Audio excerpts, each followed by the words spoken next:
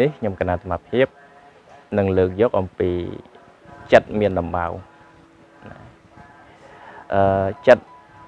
មានដំបៅហ្នឹងគឺសំដៅទៅលើចិត្តហ្នឹងឯងគឺមានការ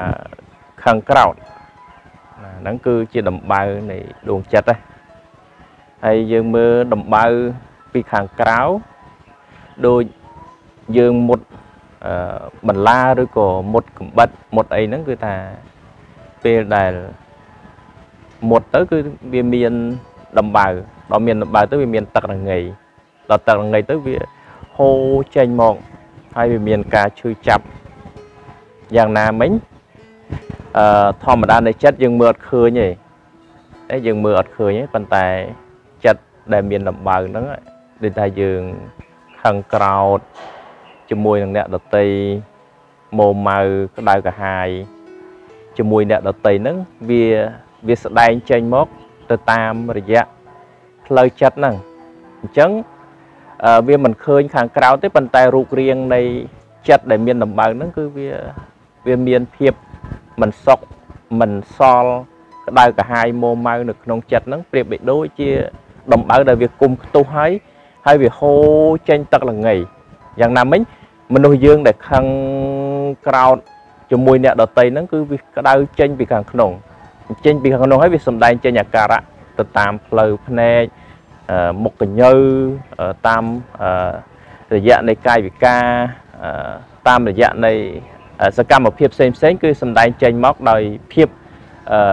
មិនល្អណាអានឹងគេថាចិត្តដែលមានដំបៅហើយណាចិត្តដែលមានដំបៅហ្នឹងវាចេញមកពីខាងក្នុងហើយវាសំដែងចេញតាមរយៈ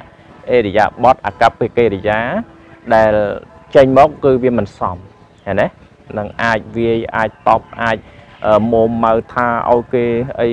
តរងរាងអញ្ចឹងទៅអាហ្នឹងគឺចិត្តដែលកំពុងតែមានដំបៅណាអញ្ចឹងបើមនុស្សយើង នៅពេលដែលដំបៅហ្នឹងវាគុំវាផ្ទុះហើយវាត្រូវរកអីព្រោះត្រូវរកថ្នាំមកបិទមកព្យាបាល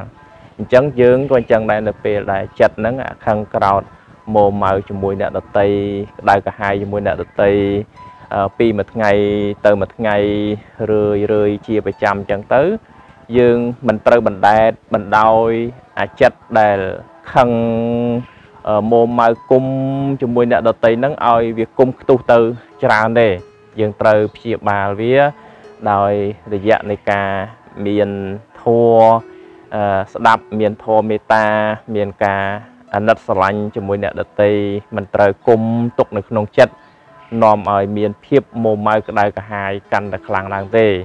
ហ្នឹងព្រោះកាលណាបើយើងមិនដាច់បដោយចិត្តមានដំបៅនឹងកាន់តែខ្លាំងគុំកាន់តែខ្លាំងរាល់សេចក្តីល្អរាល់ការធ្វើអ្វីផ្សេងផ្សេងវាវាអត់បានវាអត់បានល្អហើយដោយសារការខឹងដោយសារគុំជាមួយអ្នកដតីហ្នឹងវា មានចិត្តជាអកុសលនៅខាងក្នុងហ្នឹង ណាបើនិយាយភាសាធម៌ហ្នឹងគឺថាមានអកុសលនៅខាងក្នុងចិត្តហ្នឹងវាមានមន្ទិលនៅខាងក្នុងវាអត់ស្រឡះណាអញ្ចឹងយើងនៅទីណាក៏អត់សូវស្រួលដែរវាមានតែភាពម៉ូម៉ៅវាមានតែភាពចុកចាប់វាមានតែភាពមិនល្អអញ្ចឹងអ្នកដតីគេនិយាយអីមកវាងាយនឹងវាងាយនឹងប៉ះវាងាយនឹងធ្វើឲ្យរំញោចនៅផ្លូវចិត្តរបស់យើងដោយសារតែយើងអត់បានដឹងថាយើងកំពុងតែមានដំបៅព្រោះដំបៅនោះវាគុំយូរហើយ អញ្ចឹងអ្នកណាគេមកថាអីគឺគុំទុកនៅក្នុងហ្នឹងគុំទុកហើយដល់ពេលអញ្ចឹងទៅអាពេលដែលគេថាឲ្យភ្លាមភ្លាមមកគឺ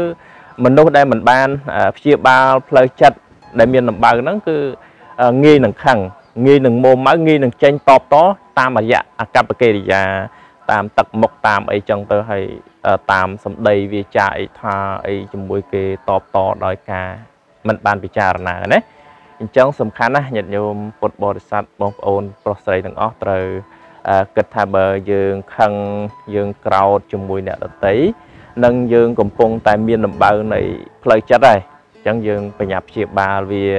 ព្យាបាលហ្នឹងមិនមែនថាធ្វើឲ្យអស់តែម្ដងណាធម្មតាយើងជាមនុស្សបថុជនអ្នកណាក៏ខឹងអ្នកណាក៏មួម៉ៅក្តៅក្រហាយដែរប៉ុន្តែគុំមិនដែតបណ្ដោយវានឹងឲ្យទៅតាមនៃការខឹងក្រោតមួម៉ៅហ្នឹងគឺថា យើងរៀនព្យាបាលវាទៅតិចតិចហ្នឹងទៅវិញអាហ្នឹងទៅវារំសាយវាវាអស់ទៅនឹងតែអស់មិនដាច់ទេរឿងយើងហ្នឹងណាប៉ុន្តែបើយើងរៀនព្យាបាលវាពីតិចតិចហ្នឹងទៅនឹងវានឹងសះវាងាយនឹងមិនប៉ះពាល់ទៅតាមផ្លូវចិត្តរបស់យើងនឹងខ្លាំងឯងអញ្ចឹងគឺស្មារភាពក្រនលើកមកថាបើចិត្តមានលំបៅយើងត្រូវព្យាបាល តាមរយៈស្ដាប់ធัวតាមរយៈមានធัวអប់រំចិត្តឲ្យបានរឿយរឿយកុំទៅតាមបណ្ឌិតបដោយទៅតាមការខឹងក្រោធរបស់យើងអានឹងទើបយើងនឹងព្យាបាលតាមផ្លូវចិត្តនឹងបានសុខបានចម្រើននិងជាសះស្បើយអំពីចិត្តដែលវាមានជំងឺនៅខាងក្នុងហ្នឹងព្រោះដូចជាដំបៅដែលមានថ្នាំបិទចឹងឯងព្រោះអញ្ចឹងសូមអនុមោទនា